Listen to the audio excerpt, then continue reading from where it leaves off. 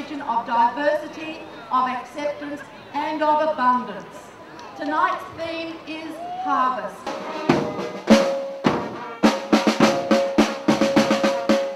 The Lantern Parade is, um, is a community-based event and as the years have grown, um, more and more uh, people within the community have taken ownership and they they have their, they feel that they've got a, a part to play in it.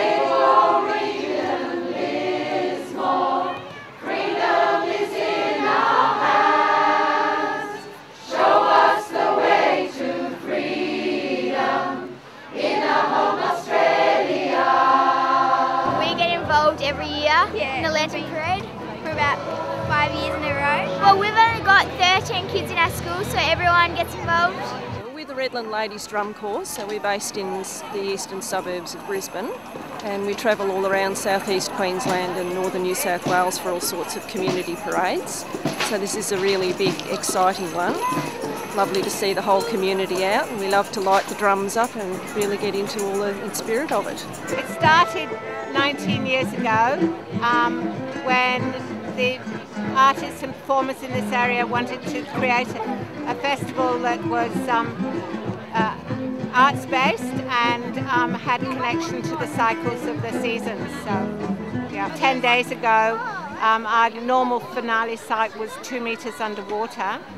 Um, so we had to make a choice of not doing it at all or, or moving.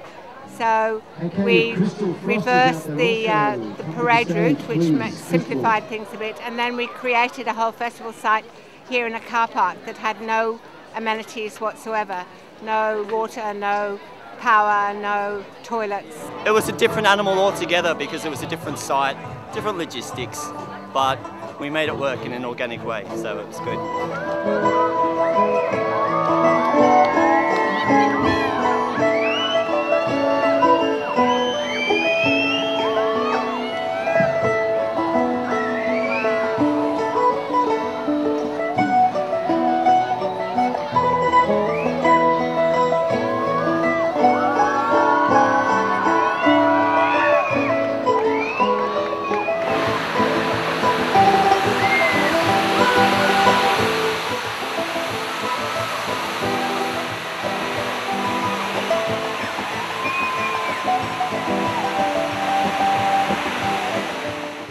Every bit as big as last year, and we estimated that last year we had about 27,000 people.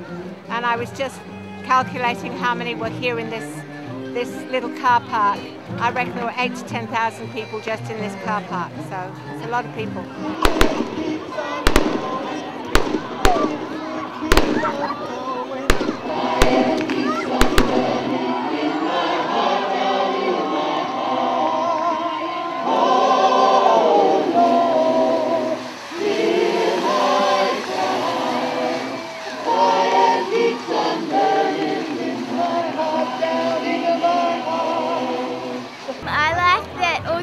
Get to get, get together and show off their lanterns and their skills. And I like the big finale with all the fireworks.